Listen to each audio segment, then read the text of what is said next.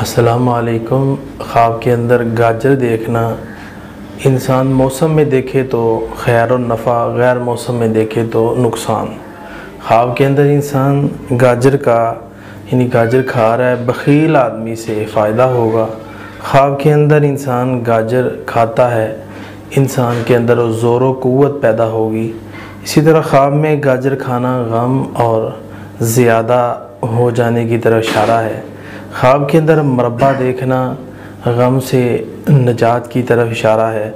हलवा देखना गम से नजात की तरफ़ इशारा है।